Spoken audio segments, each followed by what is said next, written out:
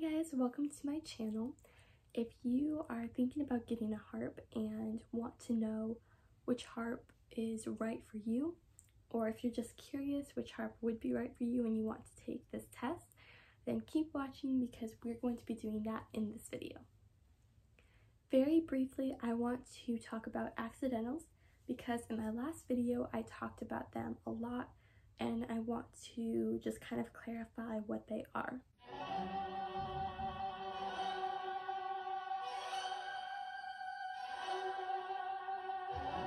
Okay, so in music, there is something called a key signature, and that talks about, um, or that tells you how many sharps or flats there are in a particular piece, in that piece. And when there's an accidental in the music, that means that, um, so let's say, let's say there was one F sharp for the key signature. So that means that every single F you're going to play is sharp but there is an F natural somewhere in the piece. That would be called an accidental because that's not in the key signature. So now that we know what accidentals are, let's go ahead and take this test that I have designed to uh, tell you what harp you should get if you're going to get one. And if you've not watched my previous video about the differences between lever and pedal harps, I would encourage you to go and watch that before continuing with this video because the differences that I talk about in that video I will be referring to a lot such as lever and pedal harps and um, concert grand pedal harps and semi-grand pedal harps. And in that video I talked about one of the questions that we're going to be asking in here, and I will not reiterate everything that I said. So go ahead and watch that video, and then you'll know the answer to one of the questions. So let's get started. Okay, so there are four questions to the test, and the first one is what is your goal with this harp? So that means when you get this harp, what do you want to do with it? And a couple of um, ideas would be to play it as a hobby, to perform with it, to teach with it, or to be in an orchestral position with your harp.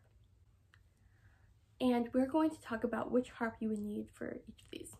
For this particular question, there is not going to be um, an answer like lever pedal. So if you're like, oh, I know I want it to be as a hobby, well, there wouldn't be an answer for lever or a pedal because you could have either harp.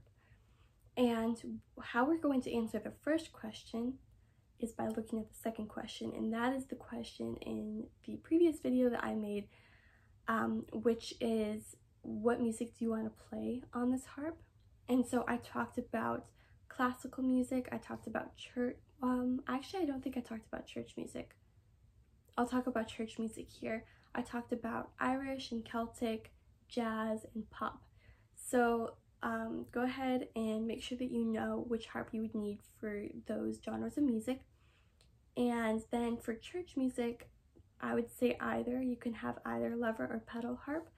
It's really good to have a pedal harp because they have a lot of varying key signatures.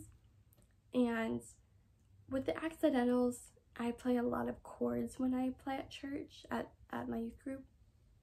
So I really don't deal with a ton of accidentals, but when you're trying to transition from one song to the next, it's really, really important to be able to get all of the key signatures that you need um, with one tuning, and you don't want to have to retune your harp. It's a possibility, you can do it, but it's just a lot easier if you don't have to.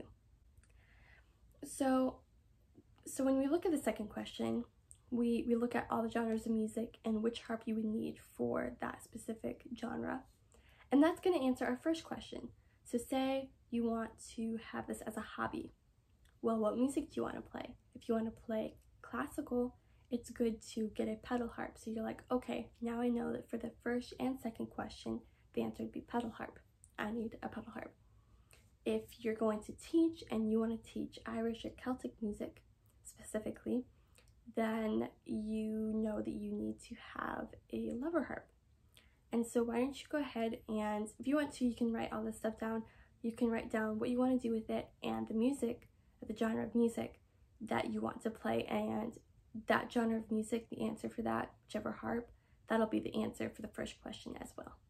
So the third question is what is your price range?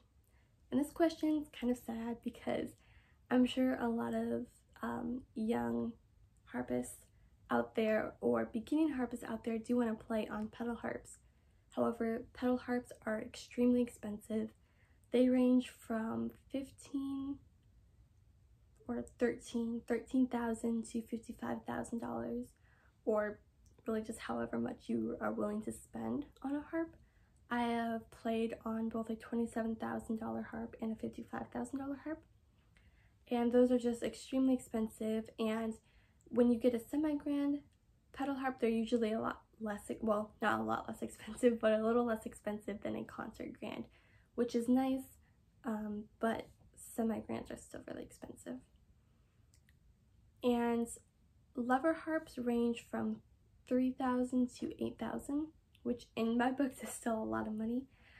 And so when you are considering which harp to buy, you want to make sure that you know um, the harps that are out there, how expensive they are, so that you can kind of um, set a goal for for saving up. You can um, kind of have a goal of what you want to spend, and um, just go into the the buying process of a harp knowing how much you are going to spend so that you are not like shocked and like you don't like pass out because it's so expensive. There are a lot of options out there if you cannot afford a harp that is like $24,000. There are used harps, a ton of used harps that you can take a look at. Um, you can just go for like if you're looking for a pedal harp you can just go for a lever harp to get started um, on one you can maybe just try to rent a harp i'm not sure how expensive that is and it would probably add up pretty quickly but if you are wanting to just start it right away and um, you want to get a couple lessons in then renting a harp would also be another option three harp stores that I have um, purchased things from. Things being both harps and like music and strings and stuff would be the Virginia Harp Center, the Atlanta Harp Center, and Vanderbilt Music Company, I believe. I'll put what it is down below. Um, but these three places have been phenomenal in their service. Um, actually, Virginia, Virginia and Atlanta are both sister companies and we've gotten a ton of strings and different things from them and Vanderbilt is where I actually got my concert grand pedal harp and we had really really great service when we purchased this from them so I would suggest that you guys look into them when you are um, trying to purchase music, strings, or your harp. So the last question that we're going to be answering is what is your lifestyle? And this basically means that maybe for every single question, your answer has been pedal harp and you have the money for pedal harp and you're just, you just have to pick it out. However, you live on like the top story of a three story apartment and there's no elevator and no way to get your harp up and down the stairs maybe that's not the best harp to get because of your lifestyle. And if because if you're going to be traveling with your harp at all, if you have to move it for performing or for music lessons or anything like that, if you're going to be playing in a group, then you you have to be able to move it. And if you can't move it and you want to do those things, then you're probably going to have to get a lever harp so that you can move it a little more easy a little easier. Um, another another way to put this would be maybe you want to get a a harp in general, but you don't have enough time to learn it, enough time to practice like you need to, um, or you don't have people to move it for you if it's too big or too heavy. These are all examples of um, situations where you probably just should not get a harp or should not get a pedal harp because of its size. They also make lap harps and these are really nice because they're literally so small that they fit in your lap and you will be able to play a harp and learn different songs but it's not like really really big. You can just like pop it in the car and go to wherever you need to go.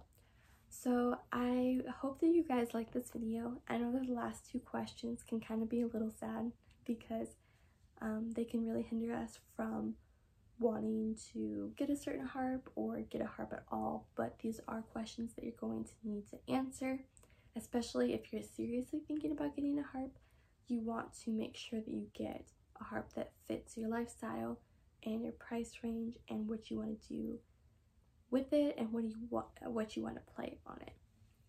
So if you guys like this video please subscribe to my channel and um, like this video and comment if you want to. Also i have an instagram. It's the life of a classical musician and i will put i'll put it down here. I would encourage you guys to go check that out i'll be posting on there whenever i post um, videos onto onto YouTube and I'll probably be putting like extra stuff on there as well. So thank you guys so much for watching and I will see you next week with a new video. Bye!